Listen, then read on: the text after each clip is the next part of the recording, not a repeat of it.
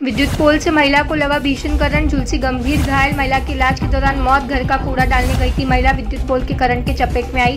चीख पुकार सुनकर परिजनों ने तत्काल सीएचसी केंद्र में इलाज के लिए कराया था। भर्ती चिकित्सकों ने आगरा किया रेफर। आगरा में चिकित्सकों ने इलाज के दौरान महिला को किया मृत घोषित। परिजनों में मचा कोहराम परिजनों की सूचना पर पहुँची पुलिस ने मृतका के शव का पंचनामा भरकर पोस्टमार्टम के लिए भेजा। थाना पिनाहर क्षेत्र के अंतर्गत पडुआपुरा गाँव का मामला।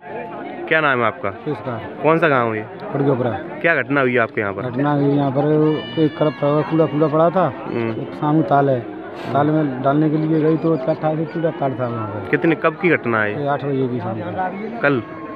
फिर क्या हुआ? फिर का आधा घंटा बाद मालूम पड़ा था किसी को भी नहीं मालूम पड़ा था किसी अच्छा अच्छा। फिर आप उसको कहाँ लेके गए? से कनाट लेके गए कनाट से रेफर कर दिया आगरा के लिए आगरा तक पहुँची वहाँ डॉक्टर ने जवाब दे दिया। पुलिस पहुँची अभी मौके पर अभी? सूचना दी आपने? नहीं।